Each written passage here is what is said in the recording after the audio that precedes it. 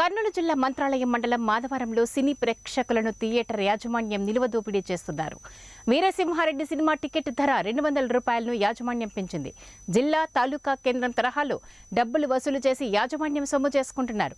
ప్రేక్షకులకు మౌలిక సదుపాయాలు త్రాగునీరు కల్పించడంలో సినిమా థియేటర్ యాజమాన్యం విఫలమయ్యారు. థియేటర్లోనూ తినుబండారాలు రేట్లు అధికంగా పెంచి ప్రేక్షకుల నుంచి నిలువ దోపిడీ చేస్తున్నారు.